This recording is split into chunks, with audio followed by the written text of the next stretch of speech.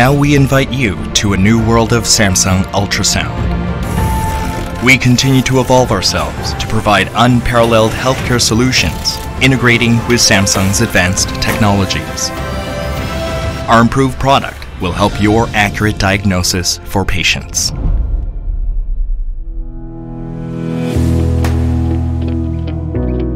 Samsung Quality Management Center controls four inspection stages from design check to quality control. From the design verification stage, we simulate with a supercomputer and a repeated diagnostic system for product quality.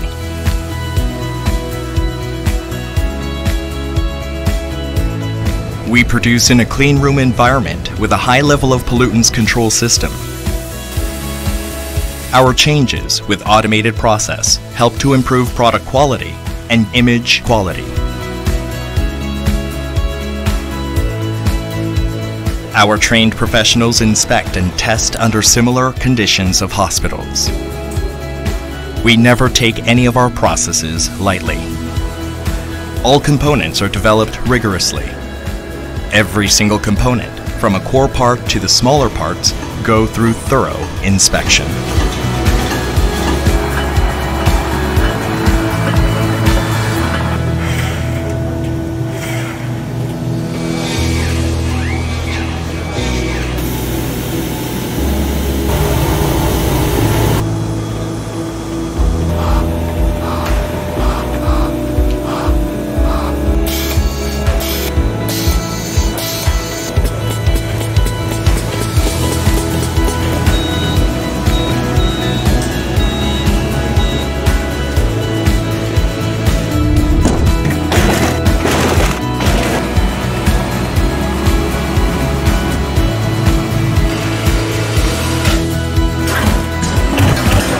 Ultrasound system passes more than 1,100 product quality tests.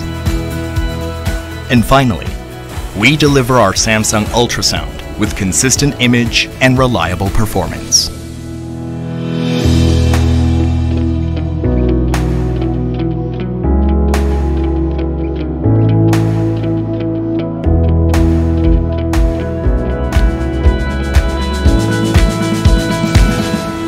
This is Samsung Ultrasound.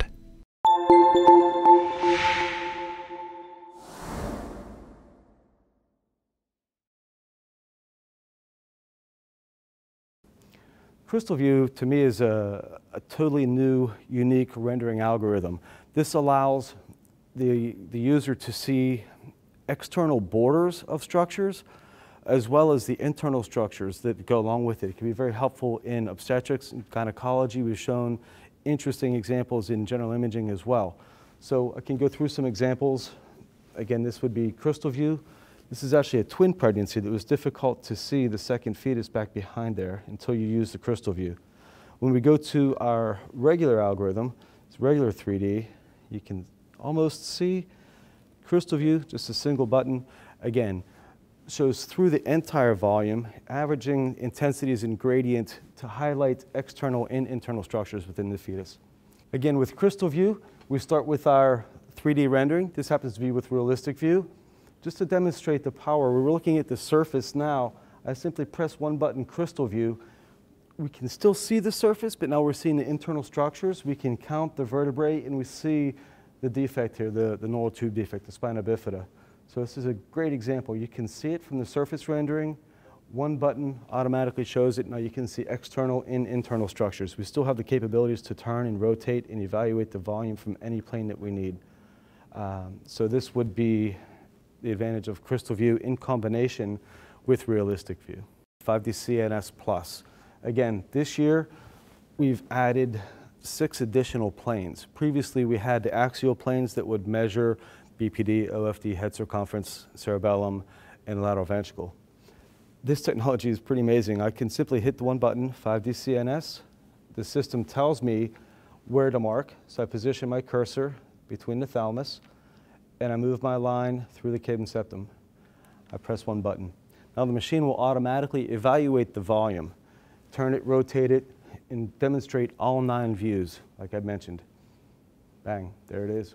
So what we have the mid-sagittal plane, showing the cavum septum pellucidity. We have our true BPD level, cavum septum all the way through. I can now tell the machine, just show me the axial planes. And with the axial planes, we see the transventricular view down here, transcerebellar view over here with the measurements of cerebellum and the posterior fossa. And we also get the transthalamic view that automatically measures the BPD, head circumference, and OFD.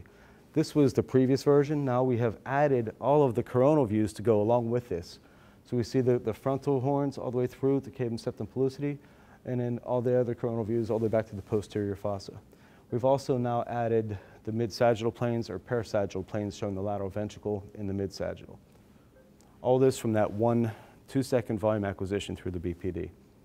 We're very excited about 5D CNS Plus.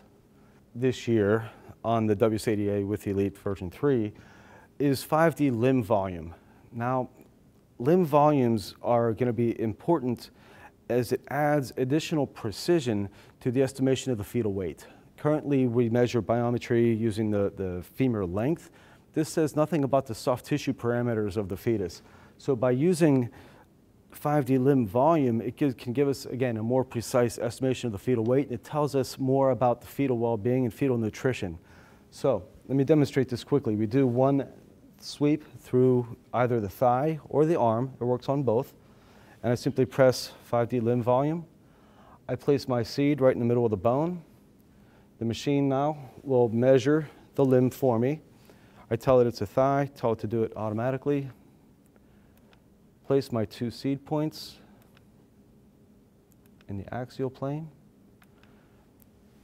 And the machine now will evaluate the volume, automatically trace the middle half of the limb, and it gives me a thigh volume automatically. This, what used to take manually anywhere from two and a half to three and a half minutes, can now be done within 10 or 15 seconds. So it makes this more usable in a clinical environment. In addition, our 5D heart, we've added similar steps, but now we can do the 5D heart acquisition with the color Doppler as well. The WS80A with Elite also is a very ergonomically designed system to meet your needs. You see very few buttons on the console, very simple system to use. In addition, we have a 23-inch LED screen. This can be turned side to side. You have excellent viewing capabilities from any angle. Again, the monitor can be lowered, can be folded flat for easy transport. In conclusion, we're pleased to introduce WS80A with Elite version 3, superb image quality, and improvements to all our 5D technologies. Ease of use, we also have included uh, changes to workflow for ergonomics and measurements. So we hope you enjoy the new WS80A Elite.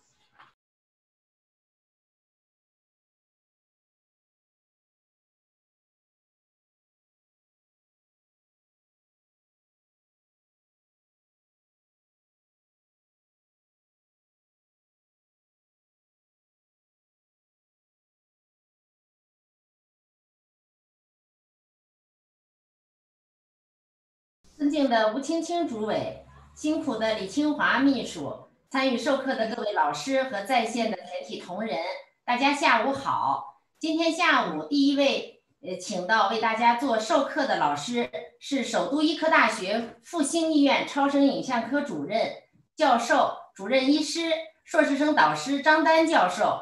张丹教授呢，他是中国超声医学工程学会。妇产超声专委会主任委员，中国医学影像技术研究会妇产专委会前任主委，中国医师协会超声分会常委、妇产专委会常委。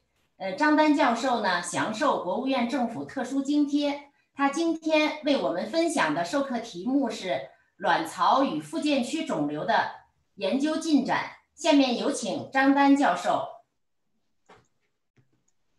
嗯。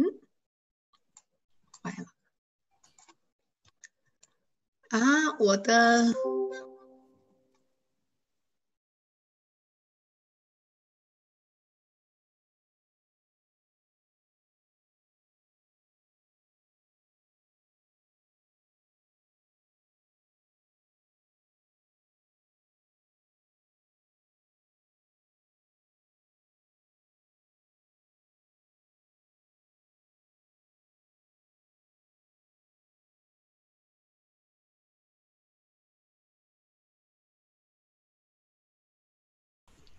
嗯，大家下午好啊！那个感谢那个吴呃严主任的介绍。呃，我今天和大家分享的题目是卵巢与输卵管肿瘤的研究进展。呃，我们都知道卵巢和输卵管呢是一个是两个位置非常临近的器官。那么在胚胎发育的时候啊，那么体腔上皮向不同的方向分化，那么分化出卵巢上皮。输卵管上皮和盆腔腹膜上皮，那么也就是说，卵巢上皮、输卵管上皮和盆腔腹膜上皮都是来自于体腔上皮的分化。那么在组织结构上呢，它的两个它位置呢是非常相似的。那么注意，输卵管伞端的一个伞啊，其中一个伞呢是附着在卵巢上。那么在疾病的组织学分类呢，那么也是非常相似的。都有上来源于上皮性呃组织的疾病、间叶组织的疾病，以及混合性上皮和间叶组织的疾病、瘤样病变和生殖细胞肿瘤。那么这两个器官呢，它都有这几个组织来源的病变。好，那我们看，在卵巢和输卵管发生率最高的病变呢，是来源于上皮性肿瘤。那么，在卵巢最常见的良性肿瘤呢是浆液性囊腺瘤，那么最常见的恶性肿瘤呢是浆液性癌。那我们看对应的输卵管，最常见的良性肿瘤是囊肿，最常见的恶性肿瘤呢是浆液性癌。那我们看它们的组织结构，这是卵巢啊，卵巢呢是一个实质性的器官。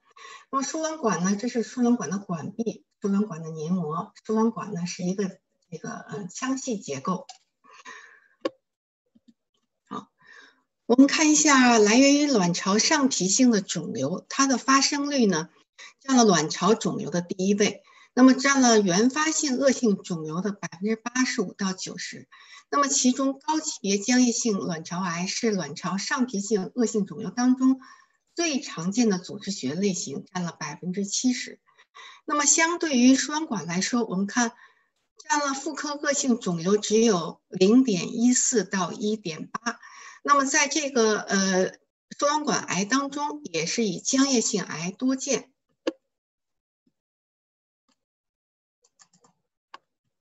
好，我们先来看一个病例，四十四岁的女性啊，超声提示双附件区的实性包块，那么在。右侧的这个包块旁边，我们还可以看到一部分的卵巢结构。左侧呢是一个完全实性的一个附件区肿物。好，那我们看一下病理诊断：双侧卵巢高级别浆液性癌，右侧输卵管高级别浆液性癌，左侧输卵管没没有发现明显的异常。那么问题来了，原发灶在哪里呢？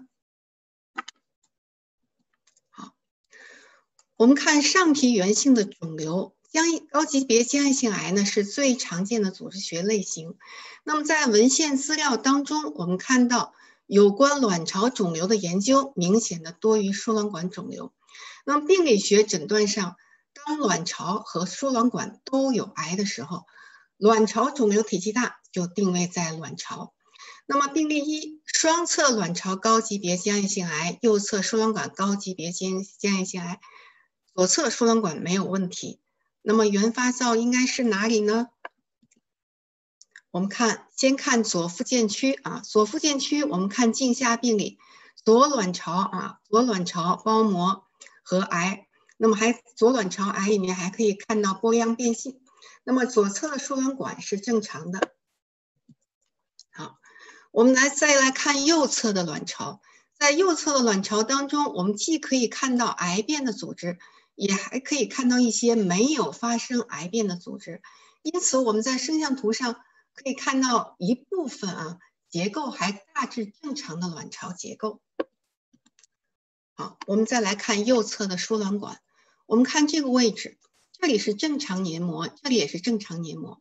那么在这里我们可以看到肿瘤的起始部。那么这张镜下病理上也是，这里呢是正常的黏膜，这里呢可以看到啊黏膜，这里的可以看到从癌从这里往上生长。呃，这张呢是我的病理科搭档李老师呢，那么帮我拼了一张大图啊，这里是这是输卵管壁，这是癌的起始部，那么从这里啊一直在往上生长。好，那么所以病例一。最后的病理诊断呢，原发灶是右侧的输卵管高级别间隙性癌，双侧卵巢转移。我们再看第二个病例，四十七岁，那么右附件区的一个囊实性包块，那么在这个包块旁边，我们看这里还像是一个卵巢样的结构啊。那么我们看这张图，左附件区，那么这个形态呢？大致上看上去还是像一个卵巢。那么这个这个呃彩色血流呢，我们可以看到和格上有血流信号。好，同样的问题来了，肿瘤的起源在哪里呢？好，我们先看大体和镜下病理。右侧的卵巢，这里是癌巢，那么这里呢，大部分的区域还是正常的卵巢结构。但是没有看到确切的左侧输卵管结构，嗯，阑尾周围有癌的浸润，左侧的卵巢和左输卵管表面有癌，但是左侧的输卵管黏膜没有问题啊，左侧输卵管黏膜没有问题。好，那我们看起源应该是左侧还是右侧呢？右侧没有看到输卵管结构。那么癌呢？右卵巢是癌的浸润，阑尾周围出现了癌的浸润啊。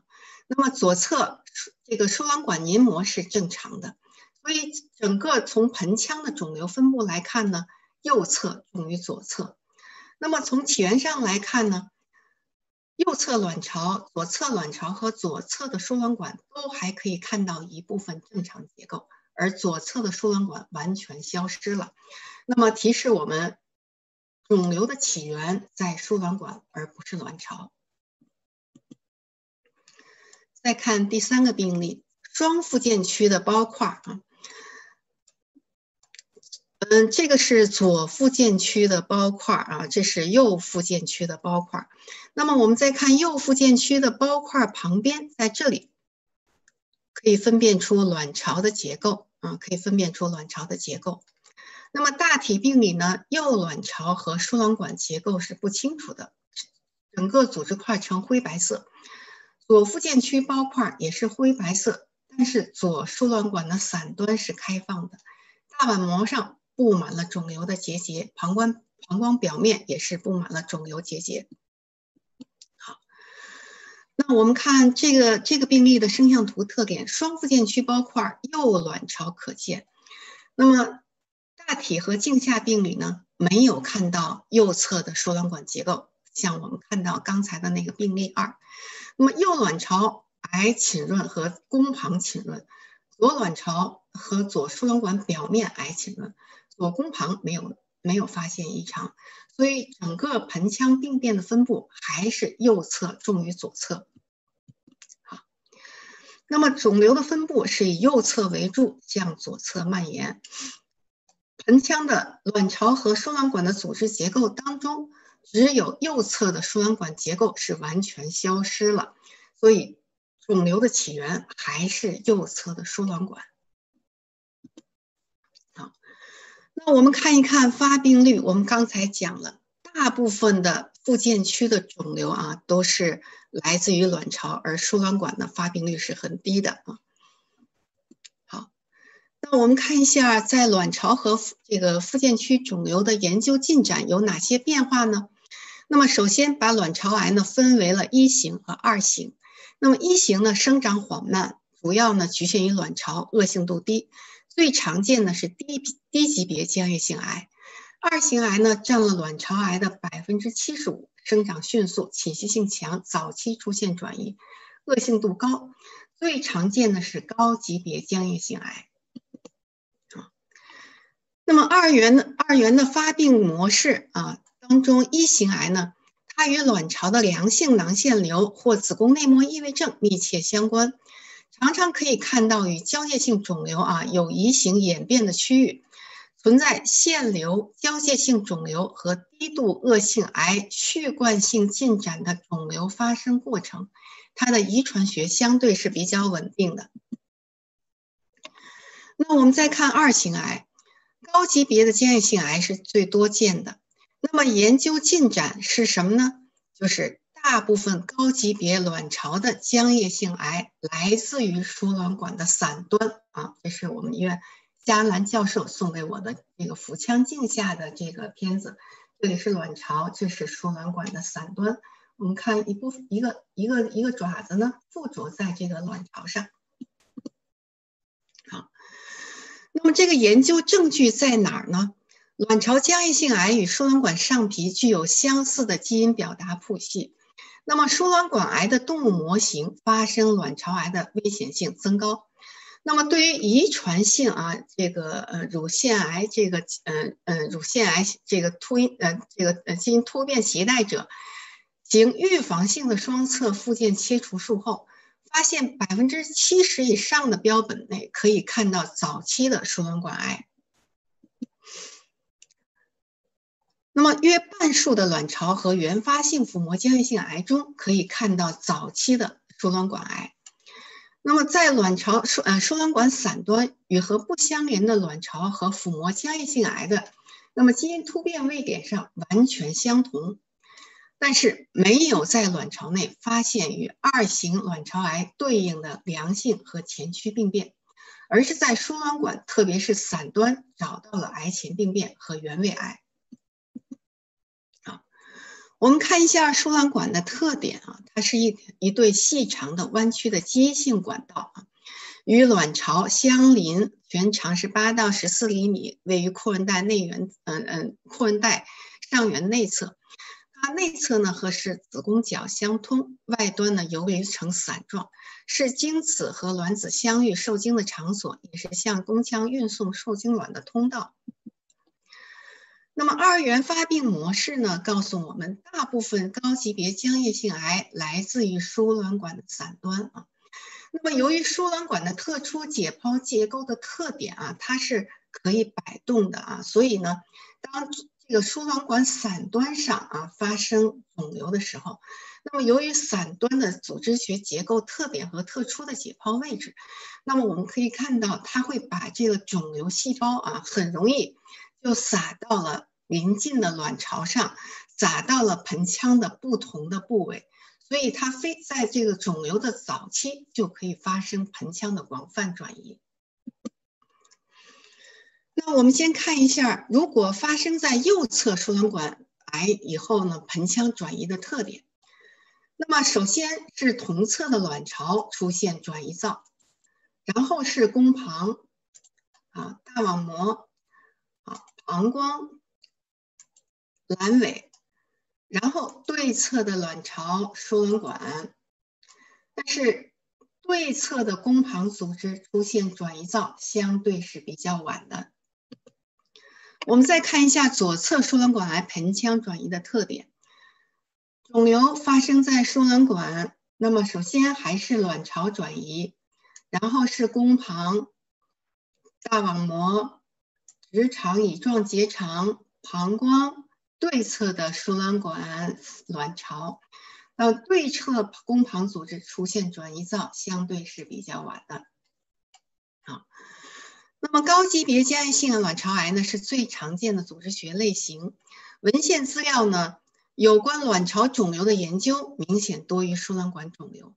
病理学诊断，当卵巢和输卵管都有癌的时候，卵巢肿瘤体积大，定位卵巢，这是以往的一个定位诊断的一个方法。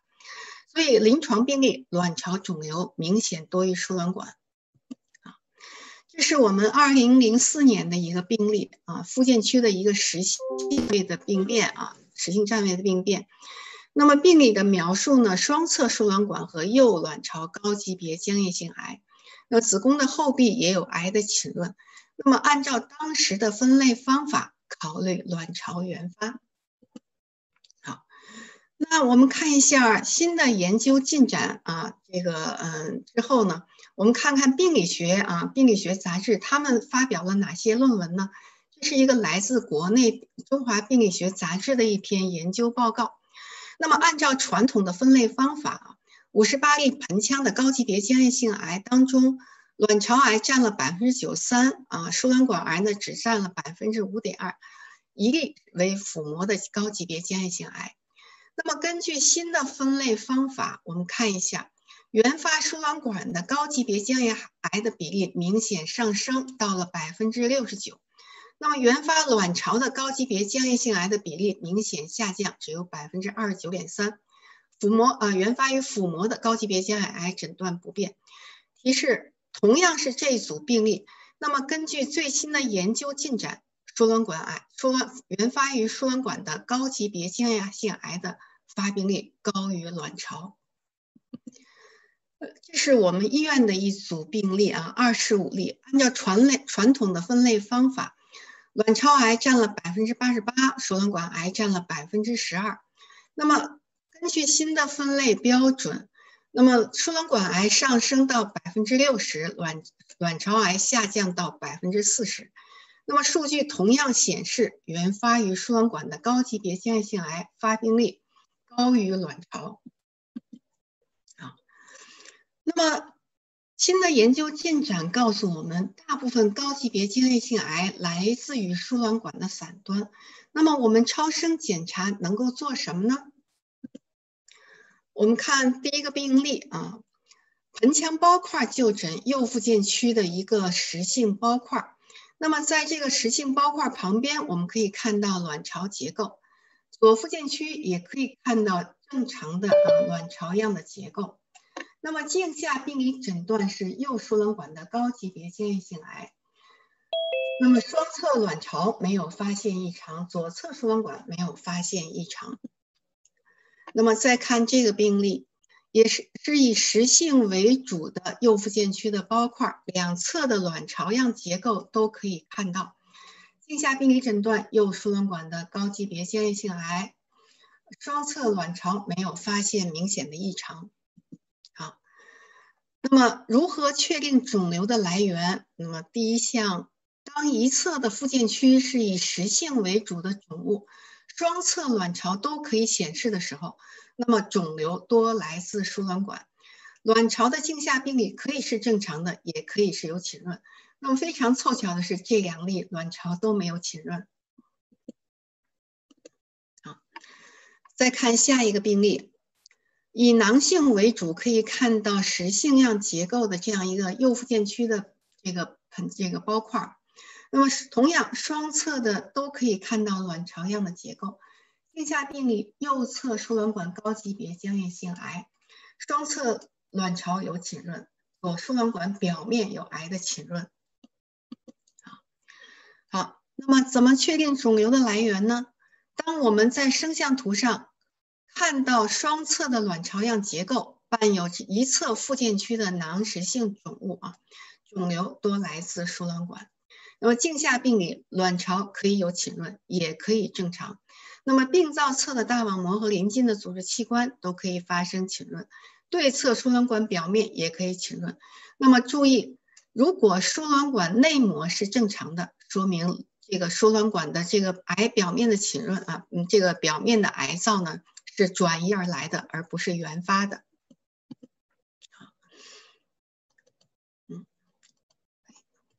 好那么再看下一个病例，双附件区的实性肿物，一侧可以看到卵巢样结构。那么我们看病理诊断是右输卵管的高级别浆液性癌，双侧卵巢转移，这是我们刚才嗯讲的第一个病例。那么这里可以看到癌的起始段，呃，可以看到癌的起始部。那么这个病例的特点，双病双双侧附件区的实性肿物。那么转移侧的病灶比原发灶还要大，那么看到卵巢的卵卵巢样结构的这一侧是原发灶，而不是转移灶。啊，那么这个病例也是以实性结构为主，双附件区的这个囊实性包块以实性为主，与子宫的界限不清楚。那么镜下病理呢是左侧的输卵管癌。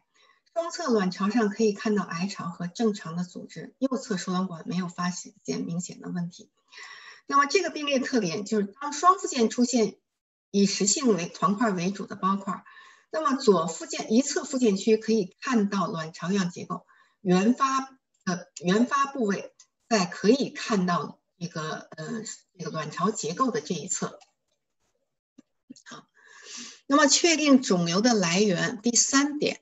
当双附件区出现以实性结构为主的肿物，一侧卵巢部分显示，那么肿瘤多来自同侧的输卵管。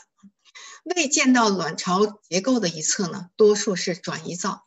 那么镜下病理双侧卵巢都有浸润。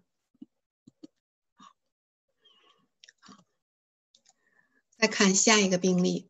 那么这个病例呢，也是双附件区的啊，双附件区的实性的为主的包块儿。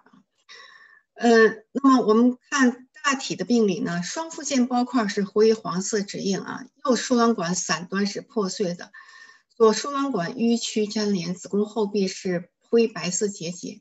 那么镜下病理是高级别啊，这个双侧的卵巢和输卵管的高级别浆液性癌，子宫和大网膜上都有癌。癌的浸润，卵巢没有发现，呃，输卵管没有，呃，呃，这个阑尾未见癌结节。好，那么像这样一个双附件区实性结构为主，又没有看到卵巢样结构的话，肿瘤多来自输卵管。但是不论是镜下病理还是声像图，都无法确定原发灶的部位。好，再看下一个病例。左附件区的以囊性为主的包块啊，那么右左侧卵巢未显示，右侧卵巢大致是正常的。大体病理呢是单房囊性肿物，内壁有多个乳头样结节。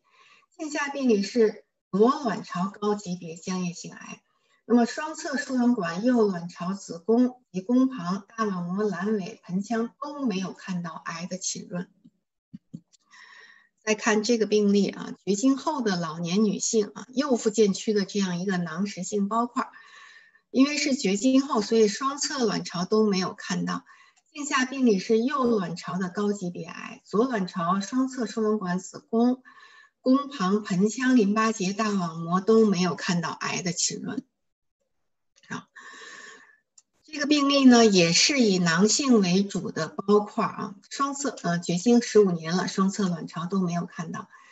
大体病理是双侧卵巢的囊性肿物，内壁见乳头状的凸起。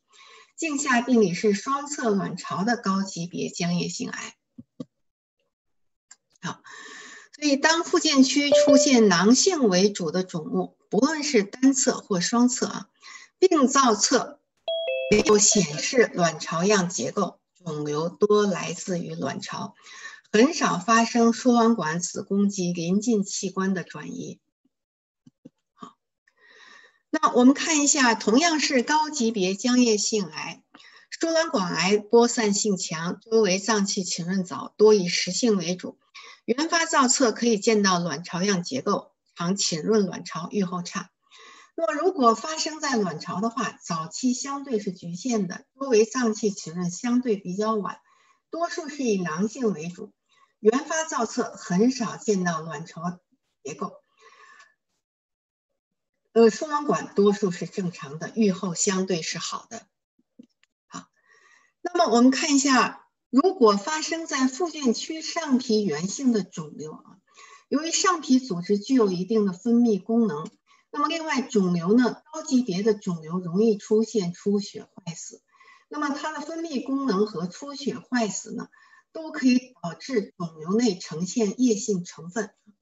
那么，如果是发生在卵巢，卵巢呢是一个实质性结构，它有包膜，所以呢，肿瘤出产生的液性成分呢，容易包裹于包膜内。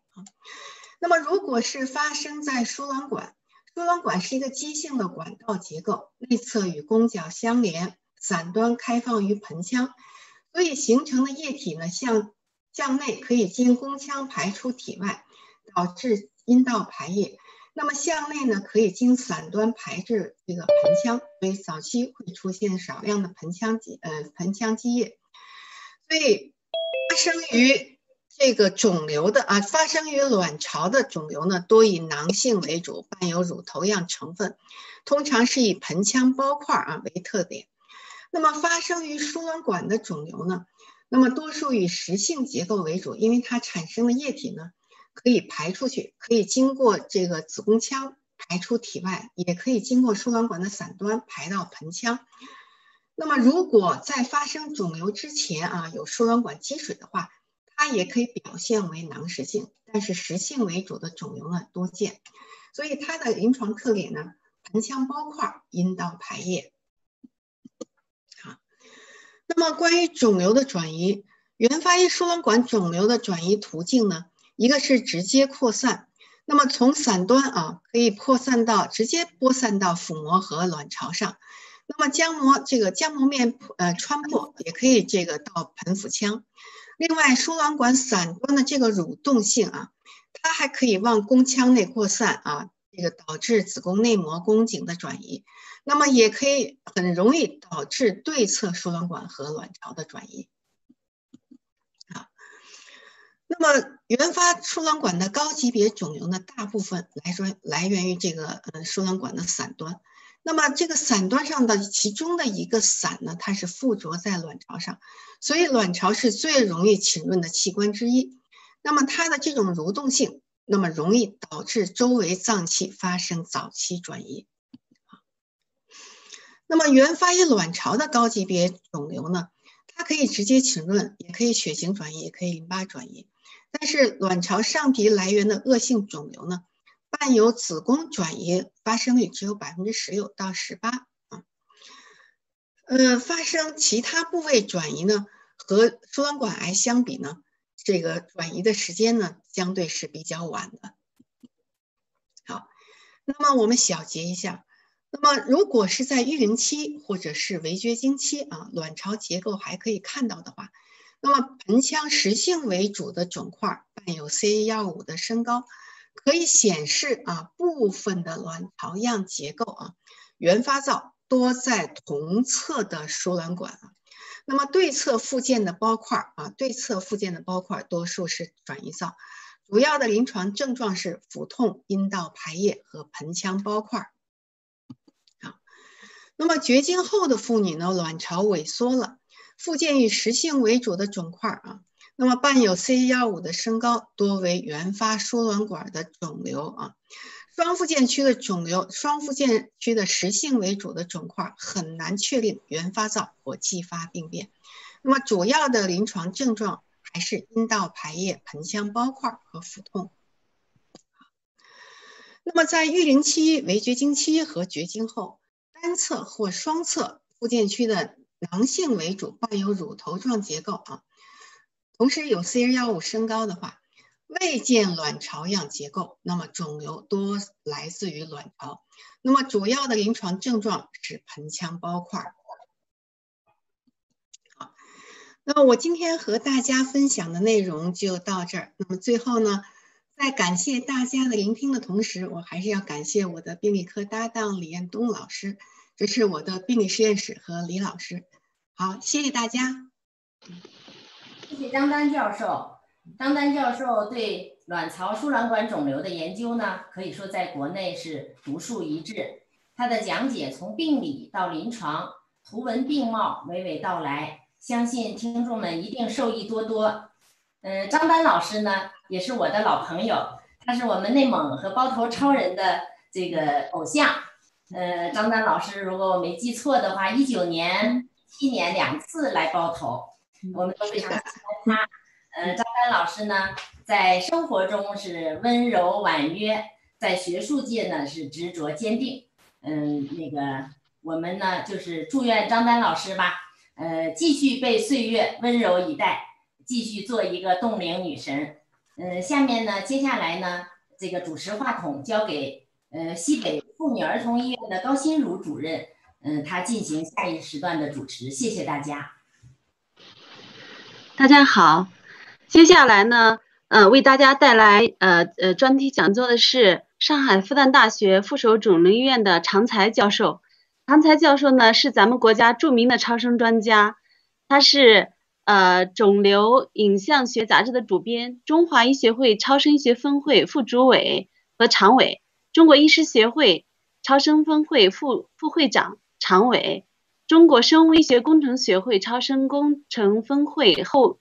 后任主任委员，中国医学影像技术研究会分会妇产学组专委会专家组成员。嗯，他为我们大家带来的题目是浅谈超声新技术在妇科肿瘤的应用。呃，下面有请常才教授。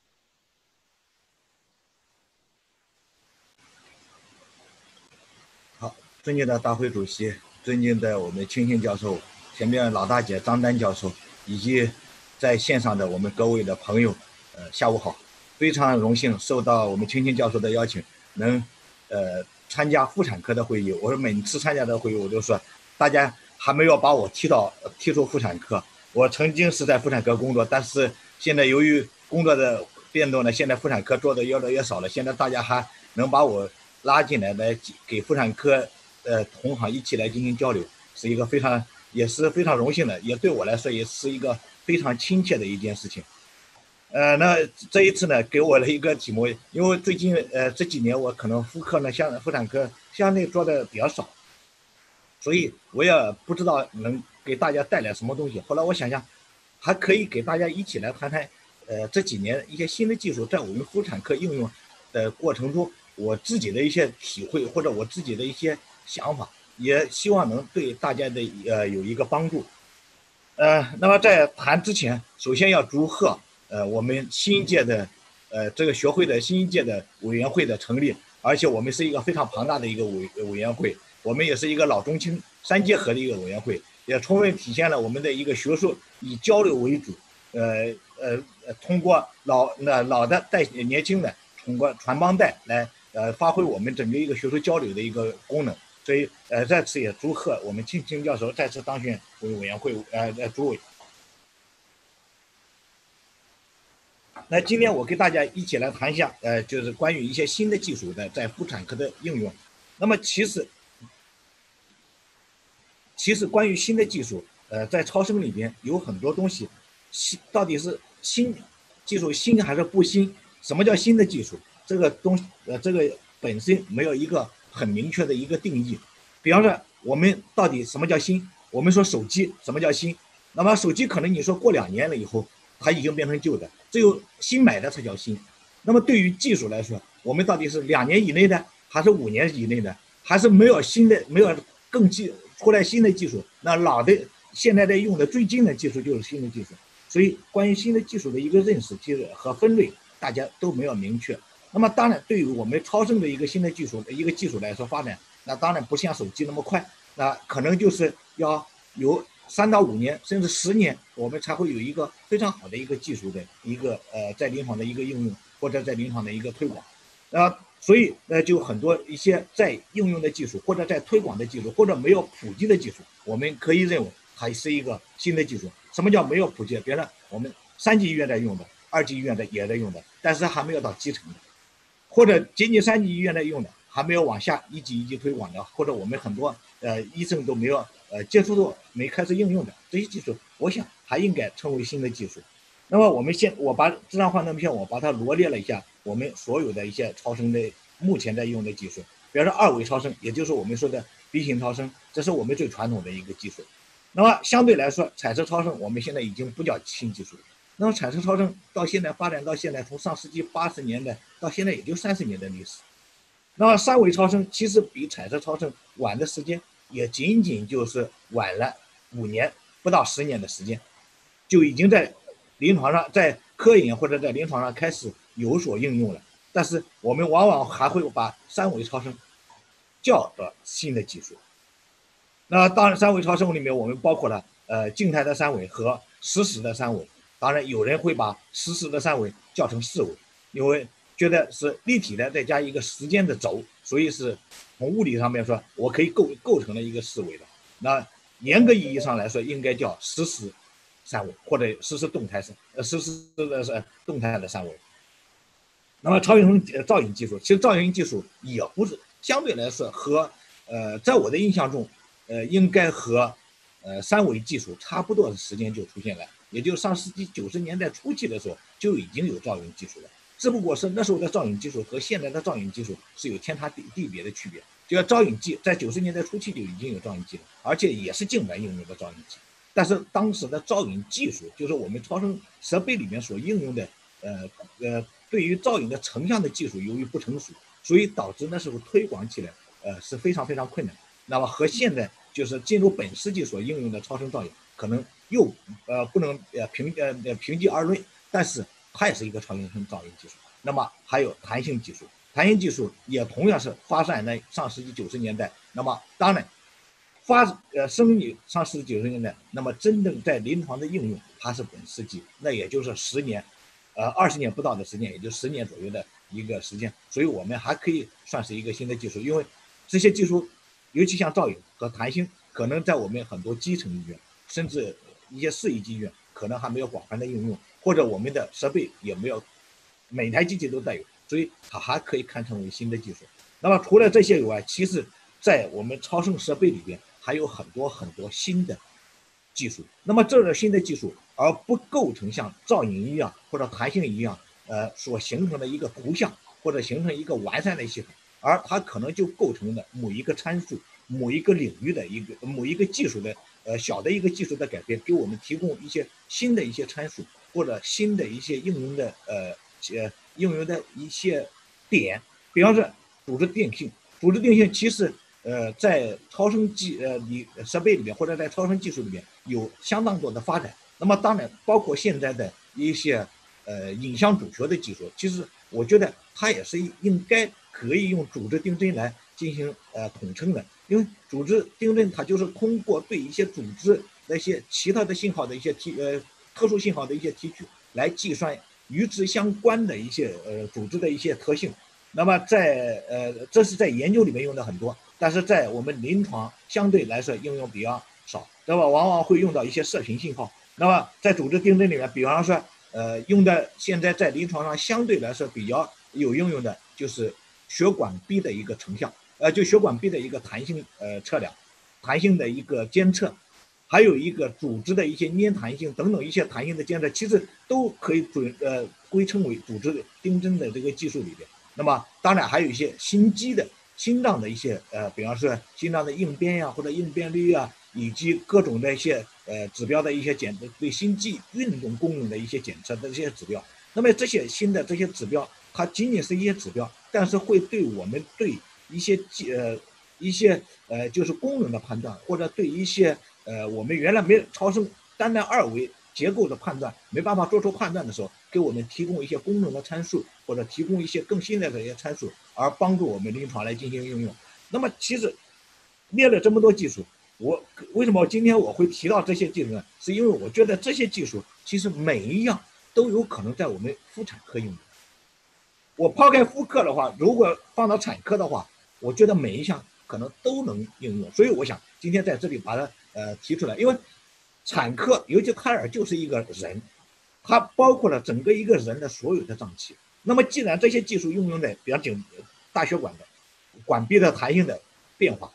那胎儿也有血管，只不过是他现在这些技术往往是用在成人。那么用在成人表现是什么呢？随着年龄的增加，血管壁的弹性越来越差。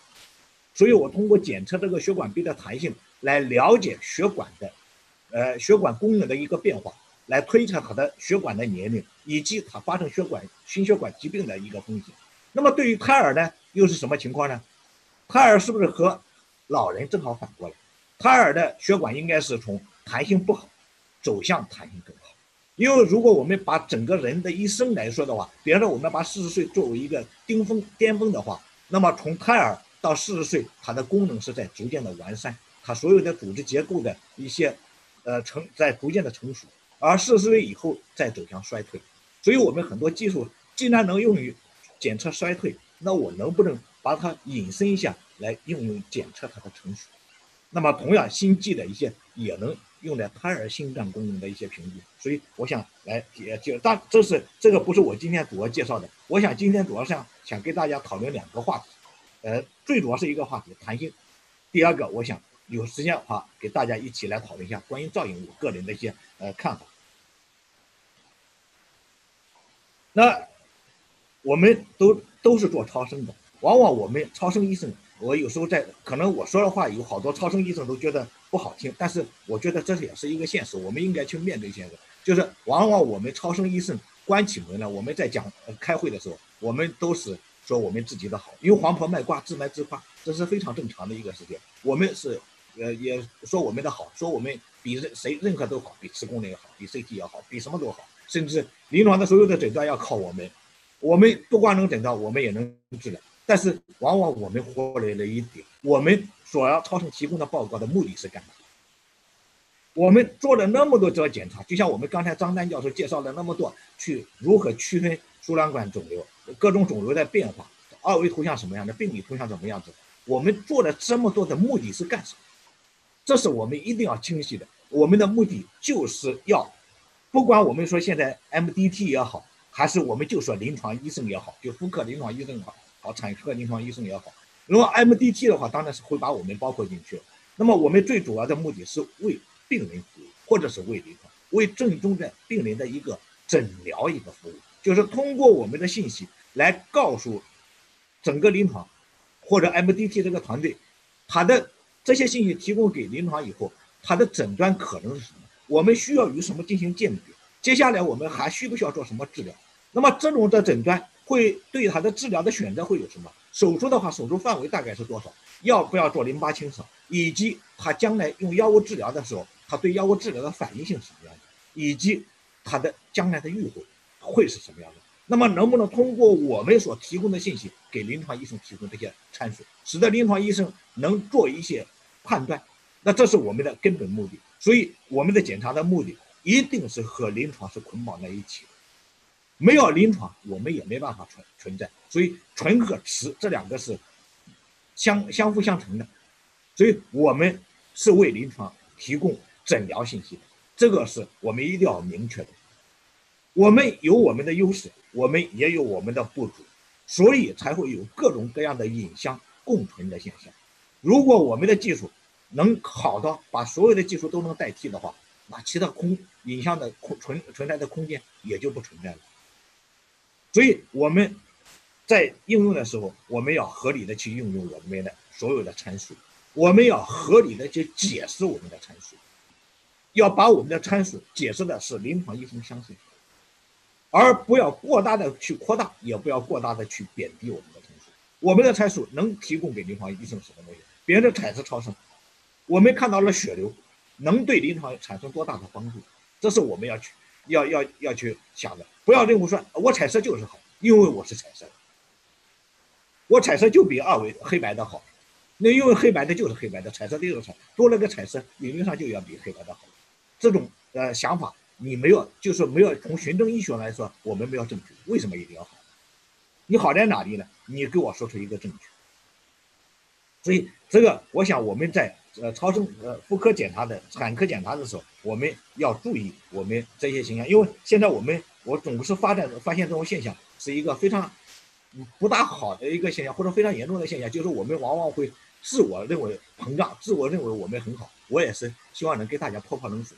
我我我是一一个比较喜欢泼冷水的。如果有不对的，希望大家呃批评。那我们可以共同来交流，来来提高。因为其实在网上有个最大的好处，你们可以现场来发一些呃发一些消息，呃大家可以来一些，也可以进行一些互动的。那首先。在新技术前面，我是其实简单的给大家谈一下，就是对超声一些参数，或者现在我们临床中我们所面临的一些呃困境，给呃或者一些问题，给大家发表一下我自己的一些谬论吧。那接下来我想给大家谈一下超声我自己的一些呃看法，也可能是一个谬论，也可能是错的，也可能是对对的，是吧？不管是错的和对的，或许对大家有一个参考吧。因为我们科学也是要在批评和错误中啊不断前行。那弹性超声，我们都知道，现在弹性超声在浅表器官用的非常非常多，在乳腺、在甲状腺用用的非常多。其实，在心脏里面的应边也类似于一些弹性。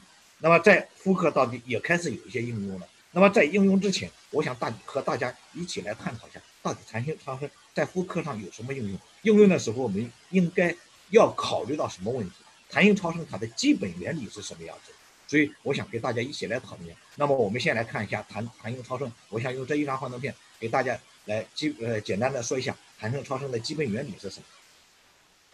弹性超声到目前为止，我们发展到现在有两种，一种是助力性弹性，一种是呃叫是呃剪切波或者叫呃非助力性的，也就是通过机械波来进行压缩的。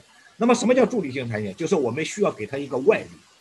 外力压到这个组织上以后，当压了这个组织，这个组织由于它的软硬弹性不一样，就像我们压弹簧的，弹性越好，我压了以后它的变形能力越强。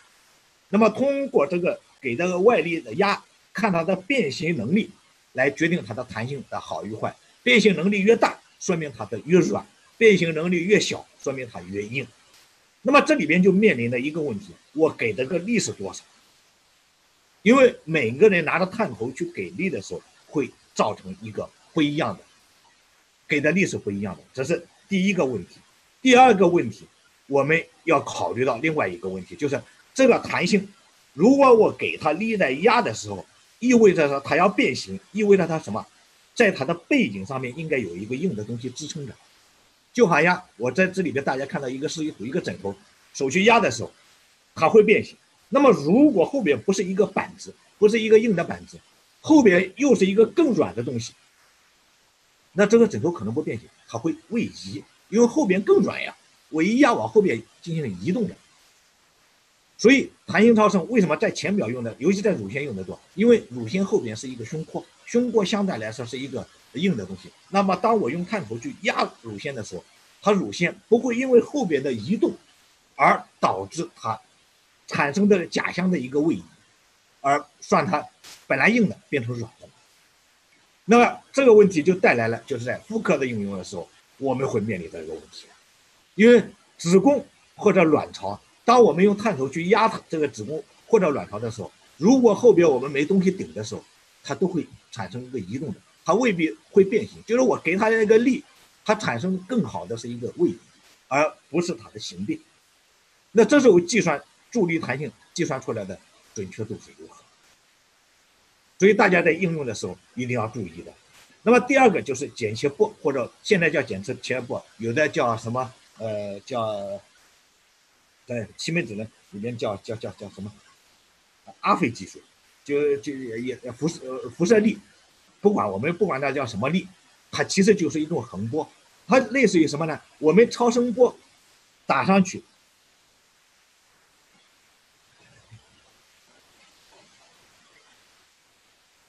我们超声波打上去，是一个，是一个呃波，是一当从探头往下面打是一个波，我们这个波叫重波，就垂直往下打的，这叫重波。那么当我们打到一个组织的时候啊，我们的尤其有不是除了水以外的硬的组织的话，每个组织都有细胞等等这些粒子组成的。那么这些粒子由于受到这个超声波的疏密波的作用，它会有一个前后的波动、摆动、运动。那么这个运动就是沿着声波的方向的一个运动。那么这个运动，由于这个粒子的振动前后的这个振动，这个是当组织有一定粘稠度或者有一定的呃密度的时候，相互挤压的时候，就会不会带变？就是它的前后运动会带动旁边组织的运动，旁边的一个粒子的相互的运动，一个运动，它在它旁边的粒子会因为摩擦力等等会导致旁边的粒子的运动。那么旁边粒子的在前后的运动，就顺着声波的方向运动，又会往旁边传播。那这个沿和声波方向传播垂直的这个方向，就是这一种的带动的这个运动，传播的运动，就叫横波。我们就叫现在的这又叫剪切波。剪切波是一个非常大的一个概念。那这个传播的速度，就是横向这样传播的速度，就是与组织的粘稠度、与组织的弹性等等很多因素是有关。其中就是有一个解呃压压缩模量有关。那么我们通过检测这这个横波的传播速度，我们就知道大概它的组织弹性是多少。所以现在我们可以通过超声探头往里面打一个高频的一个压呃那个低频的一个高速的一个呃声波，推动这个组织进行一个运动，然后计算出来它向旁边传播的一个横波的一个速度，就是剪切波的速度。那这个就。相对来说，从理论上来说，应该比助力式的在指妇科的应用的话，我不会受到这些因为移位移而产生的一个影响了。但是带来的一还这里边存在的一个问题，就是这个横波的传播速度，第一速度比较慢，第二这个信号的强与弱，我怎么把它检测出来？我会不会把这个信号漏掉？这是一个非常好的一个技术，但是会不会漏掉？我能不能检测出来？用什么技术能检测出来？那么随着它是深度的推移。生成本来就在减，呃，减衰减，那么这种衰减会对我这个检测准确性会产生多大的影响？这是就是我们现在在面临的就是我们弹性在临床上应用的时候，我们要尤其在妇科的应用的时候，我们要思考的一些问题。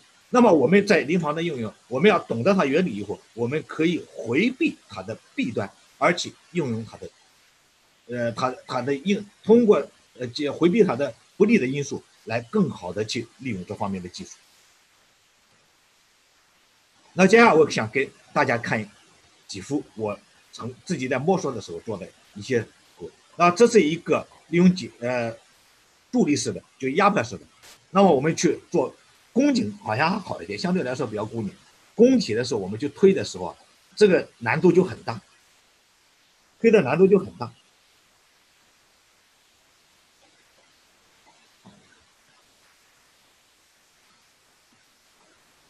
因为当我用尤其阴道探头去做的做检查的时候，我通过阴道探头去推的时候，它这个会跟着宫颈会跟着产生一个位移，但是还好我们也能看到这个图。其实这个计算机现在可能这方面在位移的检测方面敏感度比较高，所以也能看到这个软硬度的一个变化。那么通过软硬度注意是要靠这些旁边的这个标，就是这个图标，它是红的，不同的机器会标现不一样的，有的是红的代表软。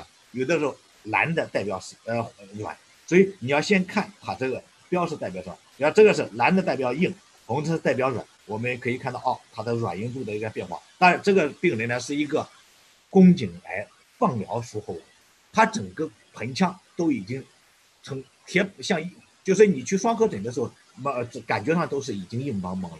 那么我们在弹性上面看到，哎，也都是偏硬的，似乎这两个是很一致的。那么当然，我也是在摸索这个到底在这个评价上面有什么帮助，这个是值得我们去探索的。比如宫颈的硬度，它的变化与它的放疗的剂量有没有什么关系？与它放这些放疗剂量以后，它的愈后有没有什么？呃，它的治愈情况有没有什么关系？因为没治愈的地方应该是癌组织多，癌组织主要是以细胞成分为主，和放疗坏死了以后以纤维组织成分为主的话，那两个组织的硬度可能是不一样的。我们手感也会感觉到不一样，那这些硬度会有没有什么区别？所以我就摸索着去做了这方面一个判断。那这个我们可以看到整个子宫的一个硬度的变化。哎，内膜的硬度是不是很软？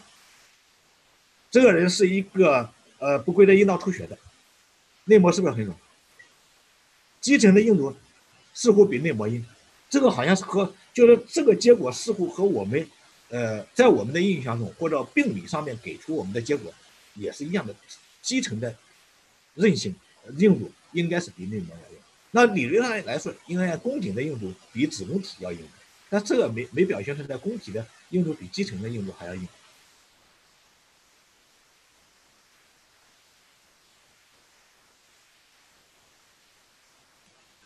那这个就显示的不是太好了，整个受到它的这个啊，这是一个纤维腺瘤，这是一个纤维腺瘤，纤维腺瘤后方衰减的很厉害。那我们去用用这样同样推的时候，它同样没看，它因为它的二维图像已经看不清它的边界，怎么能来显示它的变形呢？所以同样还是显示的子宫，而真的的一个纤维腺瘤，卵巢的一个纤维腺瘤，可能反而显示不出来。所以这就是一个手法的问题。一个技术的问题，都可能会影响到我们对这个呃呃这个图像的一个结果。那么这种结果可能会影响我们整个的一个判断。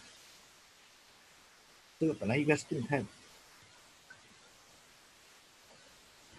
要换成动态的话，我必须得。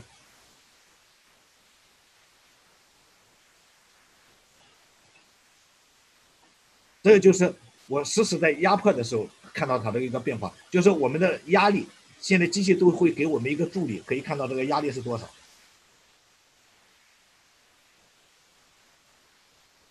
那还可以看到一些激流的一些弹性的一个情况。那么，当这个是很漂亮的，显示的很漂亮。我把它给了。那大部分激流可能我们单单从弹性上面还是蛮难区区别，不像二维我们看的那么清晰的。而且尤其激流大的时候，我们这些能不能显得显示的出来？呃，小的激流我们可以看得到。在这个区域，哎，这里似乎弹性这里有个激流，而在二维的时候好像并不是很清晰。在这个切面上，我们二维反而看得清晰。那弹性的这地方反而又看不清楚。所以在应用的时候，我们发现了这些问题。那整个一个子宫肌腺病的整个子宫均匀性的增大，我们看它的硬度的变化，内膜的呃宫腔整个一个宫腔线的一个变化。那这个本来也是动态，动态我就不放了。那通过这个以后，我们大家可以是给大家展示的几个图像，就是我我我一直在想，到底会对我们妇产科、妇科肿瘤的一个判断，或者妇科疾病的判断，弹性超声会给我们带来什么？尤其像剪切波弹性，从理论上来说，它给我们带来了不同的参数，它是一个不同参数进行一个成像的，因为它是横波的成像。我们一般我们二维也好，二维超声是通过。回波的一个幅度调幅来进行成像的，所以它两个所反映的信息、组织的信息是完全不一样的。那么这种理论上应该是对我们在一些疾病的诊断或者疾病的判断上面会有一些帮助。那么当然，我这里呃提到了一些，比方说肌瘤，我们在肌瘤一些小的肌瘤的一些发现，尤其在二维上面我们看不出来的，我们能不能？而肌瘤和肌腺病的鉴别，我不知道会对我们有没有什么帮助，因为在肌腺病从理论上，肌腺病是由于子宫内膜的细胞或者间质细胞紧呃跑到肌层里面，由于增生而引起的炎性和纤维组织增生等等这些一些呃反应，和子宫肌瘤是副细胞，这两个在里在组织的硬度方面和粘度成呃弹性方面都会有差别的。而二维上面我们没办法区别，会不会能通过弹性超声来寻找到鉴别的一些规律？那这种鉴别会不会对临床会有很大的帮助？那？再一个就是弹性超声对子宫内膜的一些硬度的一些改变，因为随着月经周期的改变，随着性激素的一个作用，子宫内膜厚度会不断的增加，子宫内膜间质里面的水呃血流成分会不断的增加，它的分泌功能会增加，细胞长会增大，那么它的组织的弹性呃杨氏膜量会发生一些变化，那么这些杨氏膜量的变化会不会与组织的细胞的分泌功能、与细胞的一些代谢功能有关系？那么我们有没有可能？二维再加弹性的这些参数来反映整个一个组织的一个细胞呃是呃整个组织的一个功能变化，因为我看到后边接下来我们鲁红教授还会介绍到子宫内膜的柔顺性、容受性，那么会不会能对我们一些帮助？那这就是我们在应用的时候，我们能不能找到它的合理合理应用的一个点？那比方说宫颈癌的一个治疗以后，我们。宫颈癌当然不需要找诊断，不需要不不一定说需要我超声，我超声因为宫颈癌人家做个活检就行，阴阴道镜加活检，人家就可以明确诊断了。我们可能帮助不大，但是当你诊断了以后，你治疗以后放疗以后，你这个病灶你不能老是活检，而且你活检你又不知道病灶的范围，那我能不能通过这个跟踪随访来给你一个临床一个提示，你的治疗效果怎么样？这个病情的转推在变化是什么样子？所以这种通过一个超声的一个特点，一个动态的一个观察，超声因为动态观察是超声的一个优点，那么来给临床一个很好的一个提示。这我想，这是我我自己能想到的一些东西。我也希望就是通过这个讨，其实我这个就是抛砖引玉，是一个讨论的一个性质，来给大家呃呃一些一些讨论的问题。那前面介绍了一些弹性，那么接下来是一个造影。造影我看到今天我们呃这个课题里面这两天的课题里面有很多的。呃，造影，其实造影我做的也不是呃也不多，我也仅仅做了一点点。那所以其实造影在这方面，我真的经验不是很多很多，我只是提出了我个人的看法。那么造影是目的是干什么？我们首先要明确，造影的目的，我们是通过造影机，通过新的造影技术，呃新的成像技术，使得我们能显示更小的或者更低速的血流。为什么要更小的和更低速的血流？这是和彩色超声是对应的。彩色超声我们同样可以显示血流，可以同样可以显示血管。那么造影我们可以显示更小的血管和更低速的血流，甚至可以显示到微循环。所以我们说它可以反映组织的灌注。那么既然它是更小的、更低速的，甚至可以反映反映组织的灌呃灌注的，那么这种目所给我们带来的结果就是组织的灌注、灌注量的变化，或者主。更小的血管的存在，对我们在妇科疾病的鉴诊断、鉴别以及应用方面会带来什么样的？这是值得我们去深思的。我们不要一味的说，我反正拿着一个卵巢的一个十公分，我们就像我们一开始做造影，十公分的卵巢肿瘤，我已经明知道它是恶性的，人和人看到的都是恶性的，我也去做个造影。我造影的目的就是要看看造影它的造影什么样子，因为我原来我没看到过。但是随着它的应用的深入，我们一定要找到它的切入点，一定要找到它能帮临床解决什么问题，否则话，临床也不会也给我们配合去做，临床也觉得你做了没什么意义，我为什么要做？我拿着，就像我们在肿瘤医院，我们肿瘤医院的医生、临床医生，呃，最最直白的一句话就是：你们做那么多检查干嘛的？我拉进去开一个刀，做个病理，什么结果都有。你们往那费了半天劲，还横讨论、竖讨论，什么鉴别诊断，对我来说一句。也不就是一件事嘛，拿那个刀就做一个病理，什么都知道了。所以不要给人家落这样的口实，我们一定要找到它的应用的点。那比方说卵巢肿瘤，我们会看到有些地方血管很丰富，有些地方血管不丰富。那么血管很丰富和血管不丰富，到底在细胞的功能上面会代表了什么意义？在细胞的增殖方面会代表了什么价值？它是不是意味着这些细胞更发容易发生反应？我们能不能寻找到超声的造影的表现？和细胞的生物学特性之间的关联，这是目前研究的一个热点，就是再加上增加人工智能以后，是目前整个国际上的研究的热点。我们能不能把这些技术和现在的国际的研究热点进行一个有机的一个结合以后，帮助我们临床去实现这方面的功能，或者把我们的一些呃应用，我们的一些技术更好的推广给临床医生，呃，更好的服务于临床。那我这里这些照片。我因为大家会有更好的照片给大家看，我就给大家一过啊，呃一带而过了，就大家看看，嗯，这个动态的。那么当然，呃，在我们妇科，我一直觉得，呃，做输卵管造影是一个非常好的一个方法，因为不光呃，输呃不光可以看到呃呃呃也给我们赚钱，而且它的应用范围非常非常大，但是呃病人又非常非常多，而且我一直说我们的超声造影。不叫输卵管单单一个通畅的评估，而应该叫输卵管功能的评估。因为我们不仅仅看通畅，而且还会看输卵管的柔韧度，而且我们是动态的观察，甚至会能对给临床看到一个比一张照片，就是 X 光一张拍了一个屎的照片，可能会带来更多的一些信息，就是我们怎么去发挥这些信息。这是原来做的。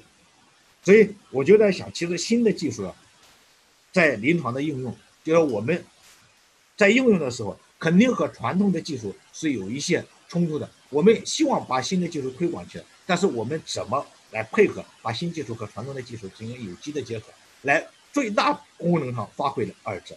那么同时呢，用真的新的技术来帮助我们什么？帮助我们治疗，帮助我们随访，来更好的服务临床，来开拓我们的应用的空间。和应用的领域，但是我们在应用的时候一定要注意，要合理的去用这些新的技术，而不要应应用了以后，到最后用着用着把我们的技术用烂用死掉。好，那我想用这点时间给大家一起来讨论一下，呃，关于弹性和超声造影，呃，在应用的过程中的一些我自己看到的一些问题或者一些现状，给大家一起来讨论。当然，我这也是呃抛砖引玉。来给大家一个题目，希望大家以后能共同来探索这些新的技术在银行应用的一些呃概念，甚至可以联合起来，在我们青青教授带领下，我们可以做一些更多的一些多中心的一些研究。谢谢大家。感谢常才教授精彩的授课。那么大家呢，大咖们总是给我们打开这个新的这个窗户，引领着我们前进。那我们就是常才教授呢，他的呃他的讲座呢，其实是告诉我们呢，我们不要夸大啊，我们超声的这个呃这个应用的这个范围，不要去扩大我们的价值，我们要了解在不同的组织器官应用不同的方法，我们来用它的长处，回避它的短处，这样的话呢，啊我们可能才不会去滥用我们的超声技术而夸大，并且夸大我们的这个作用。那么特别呢，在后面呢，他又将这个弹性技术呢和造影技术在妇科的这个应用做了一个详细的一个阐述啊，比如说弹性在应用的时候，我们要考虑到我们弹的所弹这个组织它后方的这个组织的硬度，来综合的考虑哈一个宏观的一个考虑这个这个这个这个结果啊，还有这个造影技术的时候，我们要考虑我们通过造影，其实我们是发现了更小的血管、更低的更低速的这种血管。还有这种更丰富血供的这种组织，那么它的意义呢？和这个病理的意义，这才是我们要去追寻的，我们要去探索的。这样的话呢，我们超声呢才会发挥更大的作用，啊，也不会啊，就是呃，管子这个这个这个这个增大的膨胀哈。嗯，那么非常感谢这个常才教授，呃，为我们带来精彩的这个讲座，谢谢。嗯，下一位呢，为我们呃带来这个呃讲呃讲座的是北京协和医院超声科主任戴琴教授。戴琴教授呢，啊是我们国家也是非常著名的教授，是我们这个学会的副主委。那么他是呃也是北京医学会超声医学专委会副主任委员，中国医师协会超声分会专家委员会副主委，嗯，还是中国超声医学工程学会妇产。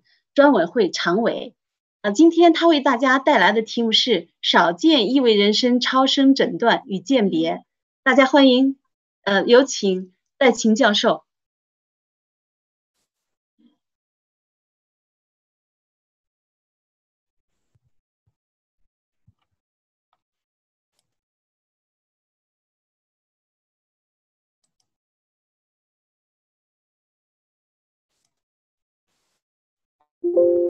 好，非常感谢呃高新如教授的介绍，也非常感谢呃吴静军教授的邀请，让我在这儿有机会跟大家谈一个呃这个小呃这个就分享一个题目。嗯，刚才呃前面嗯常才教授呃讲到的一个妇科新的技术，我认真听了，非常的有启呃启发。我觉得常才教授的这个其实讲的非常好，就是我们这个呃尤其是我们。就是临床科研结合起来，我们一定常常教授这个，呃，就是非常客观的这么一个对新技术的一个讲解，会带给我们很多的思考，呃，和这个进步。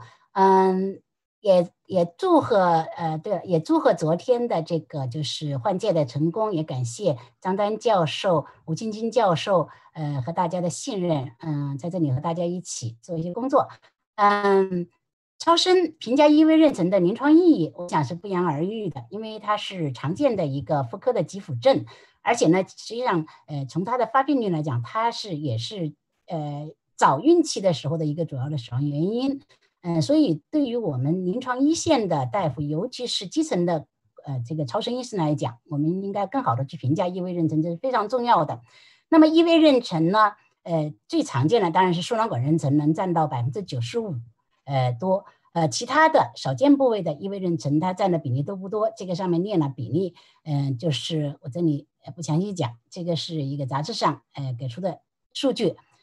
嗯，那么嗯少见部位的异位妊娠包括了尖子部妊娠、宫角妊娠、呃剖宫产的瘢痕妊娠、宫颈妊娠、卵巢妊娠、腹腔妊娠、残角子宫妊娠、肌壁间妊娠、宫内宫网复合妊娠等。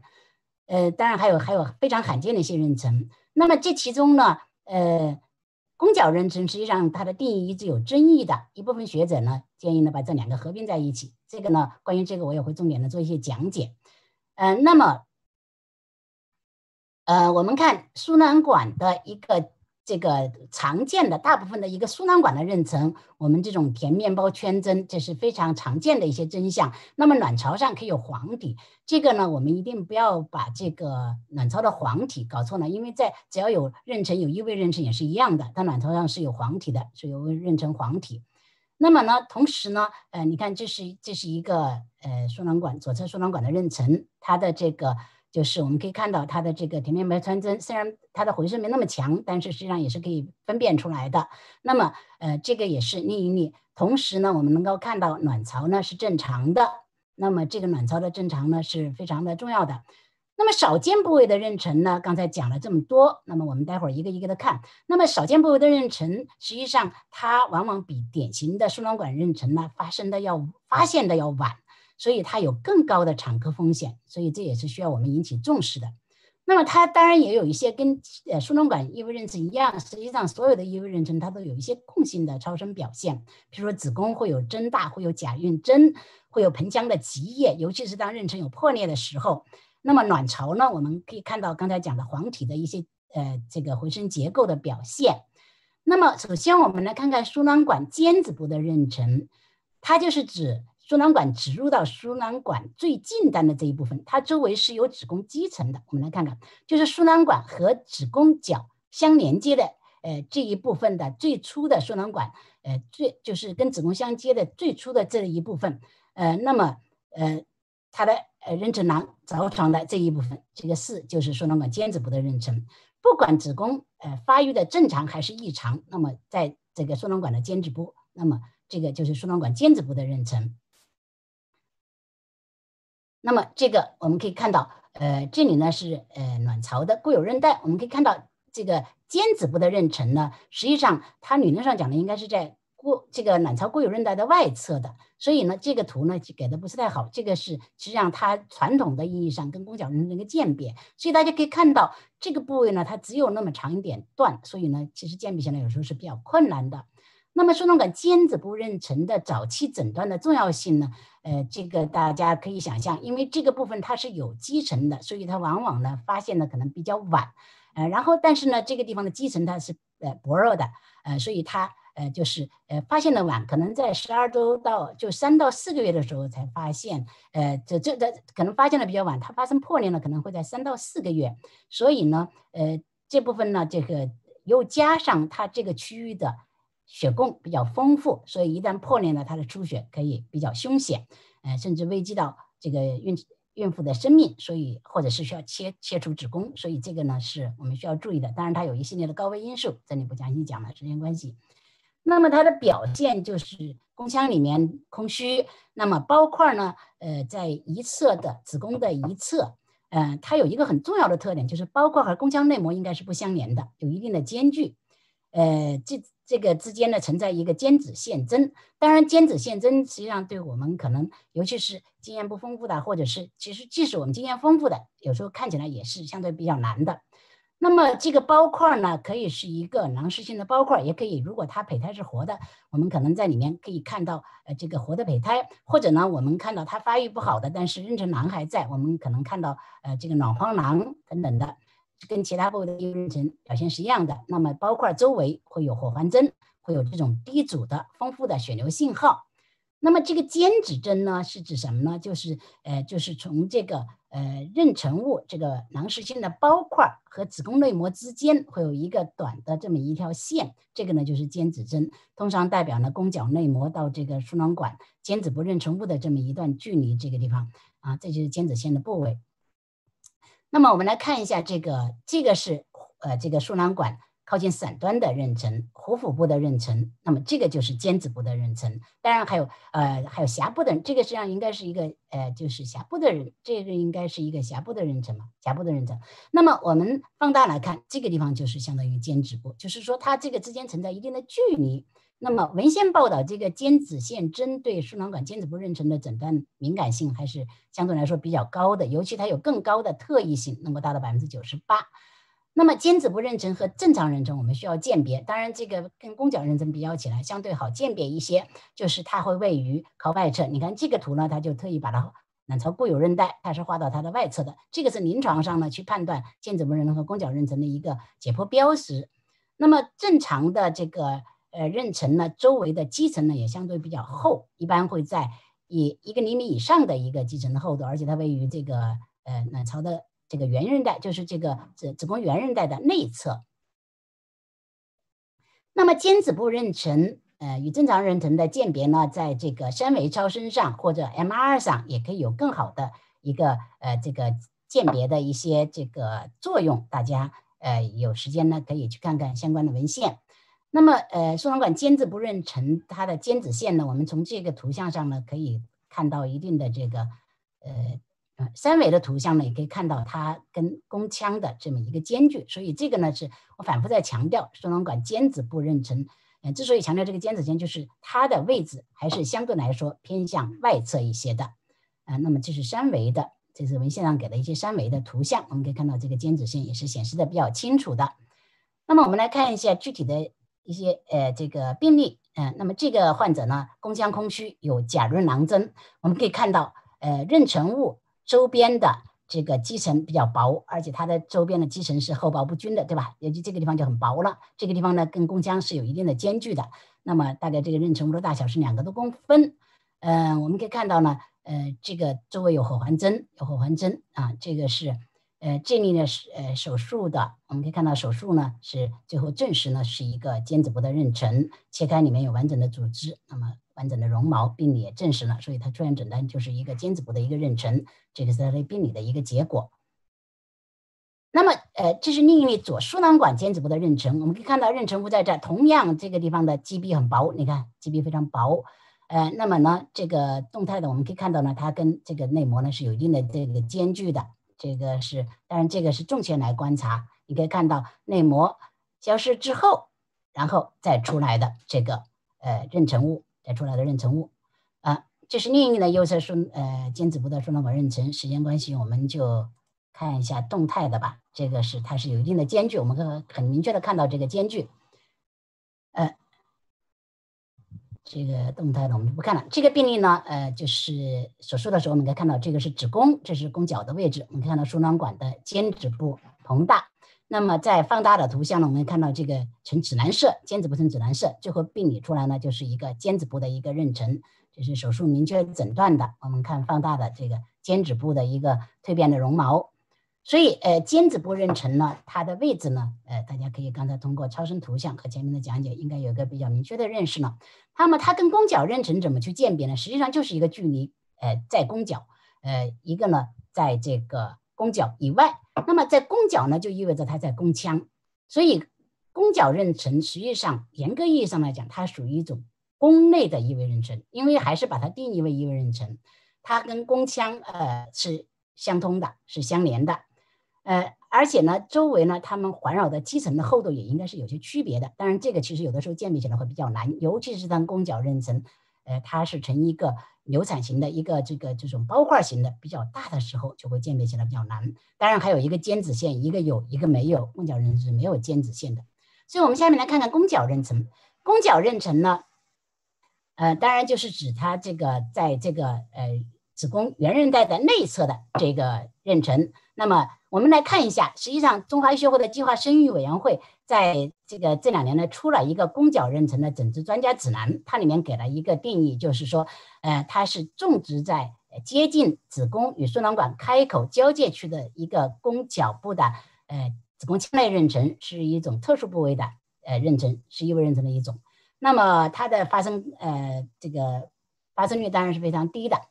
那么，呃，宫颈妊娠的三种结局，这个这个共识里面也给了一个呢，是当然就是发育不良、自然流产。第二个呢，就是任囊向宫腔方向生长，呃，妊娠可延续至。呃，这个晚孕期甚至正妊娠，这个呢就是我们要小心的。就是说，我们宫角妊娠实际上有一种结局，当然其中一部分或者少部分的患者，他是会向宫腔方向发展的。尤其他呃种植的呃不是特别靠外的时候，它是可能向宫腔方向发展，最后得到一个正常的一个妊娠结局的。所以，为什么宫角妊娠这些年一直会有一些争议，也是因为这是其中的一个原因。那么，如果它向外，它种植的比较靠外，它向输卵管这个方向生长。它最后就变成一个输卵管的尖子部妊娠，实际上，那么它会发生破裂，呃，会或者是呃，它这个和在输卵管和宫角交界这个区域内，就是我们看到的尖子线这个区域内，但仍然会发生破裂，发生致命的大出血，造成孕产妇的死亡。所以它是一个还是在临床上，其实上还是一个非常重要的这么一个呃这个疾病。所以我们大家还是要呃搞清楚它的一些情况。那么它的定义呢，我刚才讲了，一直存在争议。呃，因为本身呢，这个存在争议的原因，我想呢，就是一方面呢是超声诊断相对来说，呃，很好的去鉴别两者是比较困难的。嗯，这是第二，呃，第二个呢，当然我后面会讲，还有一个就是，呃，子宫发育异常的时候的这种宫角妊娠，比如说残角子宫妊娠、双角子宫的这个一侧的宫角妊娠等等的，就把这些混到一起，就这个概念呢，大家去查文献，我最近。呃，因为这个，呃，弄这个题，我从上个月开始就看了好多的文献，发现这个确实是非常的混乱。但是呢，大部分的国呃国外学者和国内大部分的国内学者和部分的国外学者，呃，还是认为呢，应该分别的叙述两种，因为总体上来讲，他们俩在临床处理上还是有区别的。就是呃，这个产生一其呃其一的一个原因之一，就是广义上讲，还有一种真正的宫角妊娠，就是子宫发育异常的这种宫角妊娠。嗯，它是胚胎植入到子宫发育异常的这个角内，不管是单角子宫的残角也好，还是双角子宫的一个角也好，还是纵隔子宫的一一侧这个宫腔呃靠近宫角的这个位置也好，还是双子宫的一角也好，等等的，都可以在这个范围内。这个呢是呃或者叫宫呃子宫角部妊娠，也有这么一个定义。那么英文的这个描述也比较乱，嗯，所以呢，所有这些争议，我觉得就是因为一个是有刚才讲的一个。真正的这种子宫发育异常的一宫角不妊娠，还有一种呢，就是呃，我们超声本身呢鉴别起来比较困难，因为它离得比较近，它离得非常近，所以有这两个原因，我觉得是导致它这个呃争议的一个原因。当然，这次的国内呃临床专家出台的这个宫角妊娠的专家共识里面，特意强调了本共识所讨论的宫角妊娠仅针对于正常形态的子宫发生的宫角妊娠，畸形子宫不在该。共识讨论范围内，所以可见临床大夫啊也是呃在强调不要把这个搞混了。那么是最近呢有一篇文献，两千呃就是今年的二零二零年的一篇文献很有意思，是一个美国学者写的一篇综述，嗯，他也是就是呃就是呃考虑到这个很多的分歧，所以他提出这是一个 review 和 recommendation，就是一个建议，它是一些综述加一个建议。那么他就提出一个新的一个概念，叫偏心部位妊娠的一个术语。我觉得这个很有意思，跟大家分享一下这篇文献。他就建议把所有的宫角部的妊娠，就是原来传统意义上讲的这个正常发育子宫的一个宫角妊娠和这个异常发育的，都把它混到一起，就叫一个偏心部位的妊娠。然后输卵管尖子部妊娠还叫输卵管尖子部妊娠，不要把两者，呃，不要把这个原来。传统意义上的宫角妊娠跟这个混到一起了，然后所以他提出一个偏心部位的一个呃这个妊娠的一个概念，然后呢这个就是认为呢呃这个他的这个提出来一个超声诊断标准，这个超声诊断标准实际上就是我们现在对正常形态的宫角妊娠的一个超声诊断的这么一个呃这个这几个标准实际上是吻合的，呃那么这样子呢就是呃就是呃就。方便其中一部分的宫角妊娠少部，它有少部分病人，他可能向宫腔这个方向发展，最后有一个正常的结局，而不至于把它呃一部分的病人错杀了。我觉得主要的原因是这个，就是我们就是要防止一些过度诊断。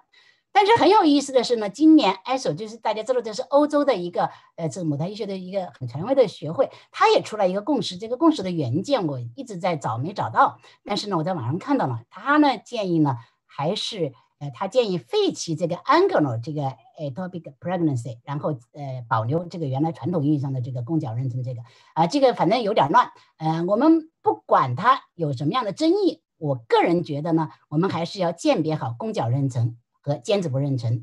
所以宫角妊娠的超声特点呢，当然是宫腔还是空虚的，它的妊娠囊明显偏心，靠近子宫的一侧宫角的位置，那么周围有肌层的包绕，这个肌层的包绕可能会。比这个尖子部要厚一点，但是呢，其实这个我觉得会比较困难，在临床上我们仔细去分辨这个肌层的厚度，其实是有困难的，尤其包块比较大的时候，刚才讲了。然后，但是有一个重要的，它的妊娠囊跟宫腔内膜应该是相邻和相连的。我觉得这个是一个重要的。另外呢，在这个检查的这个方法学上呢，我们要考虑到异位妊娠的这个一些特殊性，我们还是要呃呃宫角妊娠不要认为它位置高，我们就不做这个基因道超声。基因道超声还是能够给你更多的信息，所以我们基因道超声还是要强调的。那么这个是一个，你看这个包块就比较大，这个包块就比较大，我们可以看到。但是呢，包块呢跟宫跟子宫呢相连的非常紧密，嗯，这怎么回事？然后我们可以看到呢，这个动态的呢，大家可以看到，你看这个呢，那内膜实际上跟它是相连的，这是另一类的宫角妊娠，它也是跟子宫内膜呢有一个明确的一个关系，嗯，这个也是显示的，大家看这个内膜和这个都是相邻在一起的，嗯，这是又一例的这个宫角妊娠，我们可以看到它周边的这种环绕的血流，宫腔的一个空虚。低阻的血流，低阻的血流，这些都是临床呃有一个确定的结果的。这也是因为宫角妊娠，它相对妊娠物相对比较小，中心区域我们还可以看到妊娠囊的结构，可以看到妊娠囊的结构。呃，这个宫腔里面空虚，内膜是增厚的。嗯，这是另一例。嗯，大家可以看到，这是子宫，大家看明显的偏心，这个妊娠囊明显偏心，周围有一定的肌层的厚度。呃，它是一个停经七周多的，发现宫角妊娠。一天到我们医院住院的，他曾经有过一个双侧的输卵管不通，后来做了一个双卵管的一个切除，腹腔镜下做了切除，啊，这还是这个病例。我们看到宫腔里面也有假妊囊的表现，呃，它跟内膜是有连接相连的，而且这是一个活胎，这是一个活胎。那么最后呢是，呃，这还是不同的，他一共做了三次超声，不同时间的超声，我们看到它的这个环绕血流、火环增也很明显。后来在腹腔镜下做了一个切除，呃，可以明确的看到这个。呃，宫角处的这种膨隆，最后的出院诊断也是一个明确的宫角妊娠，而且有破裂，因为有一个破口，破口处的呃出血是活跃的，啊，这是另一例，呃，也是最近。